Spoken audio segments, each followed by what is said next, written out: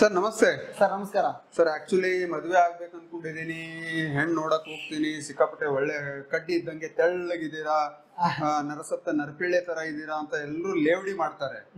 So ಎಲ್ಲ ಮಾಡಿದೆ ಮನೆ ಮದ್ದು. ಆದ್ರೂ ಕೂಡ ಏನಂದ್ರೆ ದಪ್ಪ ಆಗ್ತಾ ಇಲ್ಲ ಸರ್. ಏನಾದ್ರೂ ಮನೆ ಮದ್ದು ಹೇಳಿ ಅಂತ ನಿಮ್ ಕಡೆ ಎಕ್ಸ್ಪೆಕ್ಟ್ ಮಾಡ್ತಾ ಇದಾರೆ ನಮ್ಮ ವ್ಯೂವರ್ಸ್ ಹಾ ಇಲ್ಲಿ ಏನಾಗಿತ್ತಂದ್ರೆ ಇದರಲ್ಲಿ ಎರಡು ಪ್ರಕಾರದ ಬರ್ತಾವ್ರಿ ಒಂದು ಭಸ್ಮಕ ರೋಗ ಅಂತ ಬರುತ್ತ. ಅಗ್ನಿ ಇಷ್ಟು ಪ್ರದೀಪ್ತ ಆಗಿರುತ್ತೆ ಸಪ್ತಧಾತುಗಳನ್ನು ಜೀರ್ಣ ಮಾಡಿ ತಿಂತಿರುತ್ತ. ಓಕೆ. ಇದು ಸ್ವಲ್ಪ ಆಯುರ್ವೇದ ಲ್ಯಾಂಗ್ವೇಜ್ ಆಗತ್ತ ಸ್ವಲ್ಪ ಕ್ಷಮಿಸಿ.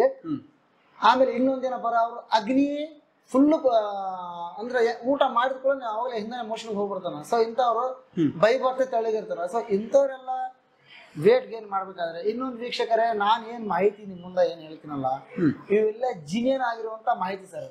ಓಕೆ.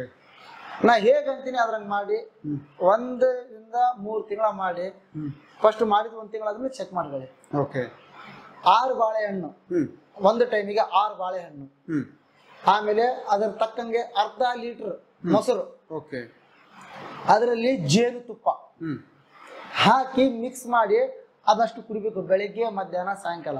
ರಾತ್ರಿ ಎರಡು ಉತ್ತತ್ತಿ. ನೆನೆ ಹಾಕಿ ಬೆಳಗ್ಗೆ ಐತಲ್ಲ. ಅದನ್ನ ತಿಂತಾ ಹೋಗ್ಬೇಕು. ಓಕೆ ಹೀಗೆ ಮಾಡ್ತಾ ಬನ್ನಿ ಒಂದೇ ತಿಂಗಳಲ್ಲಿ ಅವ್ರಿಗೆ ವೇಟ್ ಗೇನ್ ಆಗಿರುತ್ತೆ. ಆಮೇಲೆ ಬರ್ತಾ ಬರ್ತಾ ಬರ್ತಾ ಬರ್ತಾ ಮತ್ತೆ ಬಾಡಿ ಎಲ್ಲ ಬರ್ತಾ. ಇದಕ್ಕಾಗಂತ ಕೆಲವೊಂದು ಮೆಡಿಸಿನ್ ಪ್ರಿಪರೇಷನ್ ಇದಾವೆ. ಅದರಲ್ಲಿ ಅಂದ್ರೆ ಹ್ಮ್. ಗೋಕ್ರು ಈ ತರದೆಲ್ಲ ಬರ್ತಾವ. ಸೊ ಮನೆ ಮದ್ದು ಅಂದ್ರೆ ಇದು ಮಾಡ್ಬೋದ್ರೆ ಉತ್ತಮ. ಓಕೆ ಓಕೆ ಸೊ ವೀಕ್ಷಕರೇ ನೋಡಿದ್ರಲ್ಲ ಸಿಂಪಲ್ ಮನೆ ಮದ್ದು. ಮತ್ತೆ ಯಾಕೆ ಟ್ರೈ ಮಾಡಬಾರ್ದು? ಟ್ರೈ ಮಾಡಿ ಏನ್ ನಿಮ್ ರಿಸಲ್ಟ್ ಇದೆ ಕೆಳಗಡೆ ನಮಗೆ ಕಮೆಂಟ್ ಅಲ್ಲಿ ತಿಳಿಸ್ಕೊಡಿ. Okay thank you sir thank you